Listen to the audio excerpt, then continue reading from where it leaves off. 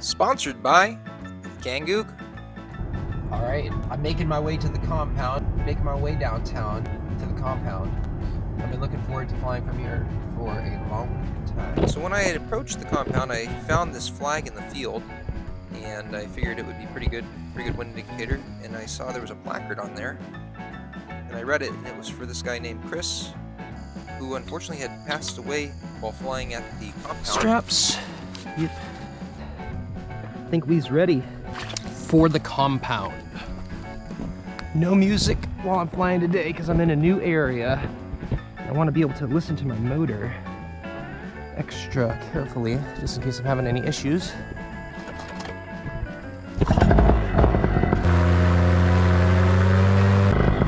Tall grass, I gotta be careful of any hang-ups here.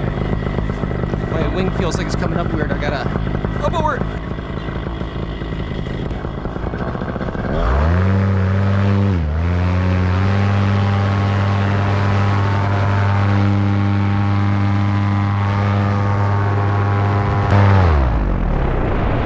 The compound, baby. Over here is obviously where some people were riding four wheelers. It's kind of cool that you could take your four wheeler or your paramotor or whatever it is that you want to ride. Come to the compound, have some fun. It looks like. I don't know the rules and regulations here, to be honest. These roads here are. I I believe this was supposed to become a some sort of a little home development area. By the way, if you pop up over the side streets, it's a good idea because there are cars driving out there. Went for a big turn and instantly, right there, I noticed something was in my way. Can you see it? An RC plane.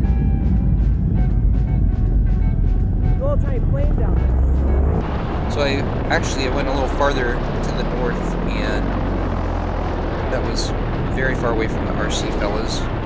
And here is all of the compound. So there, where these roads right here start, all the way to the south, which is where I'm panning, and you can see that big green spot right there is primo for flying. So this is the compound. Here in uh, Palm Bay, I believe, Palm Bay, Florida. I've always heard the stories of how awesome this place is. It's pretty cool. It's neat to see all the streets and all the available sites. But there seems to be a pretty active RC pilot community over there, so I'm trying to not disturb the pilots. I think one of them was trying to see me up close and brought his plane near me when I was trying my first wing over. Kind of freaks me out a little bit. Didn't want to hit his plane or anything like that. I'm going to show you a little tip on this place in case you ever want to. So if you take the road to the compound, and you make the left where the GPS suggests, you're going to be following this road. I followed it all the way up and around to where I parked, but if you take a right right there, you're going to be in a much better spot to fly.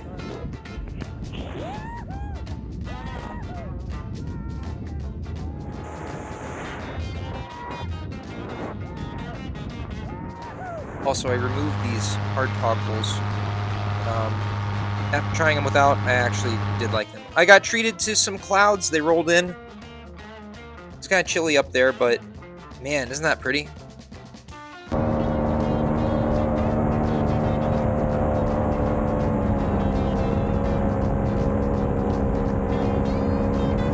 Definitely wasn't expecting that.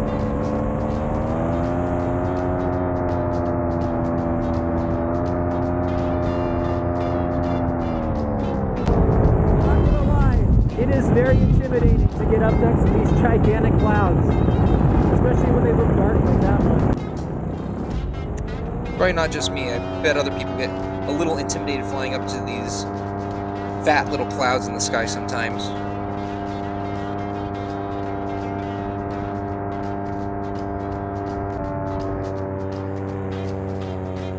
Got some alternating colors on the Kangook.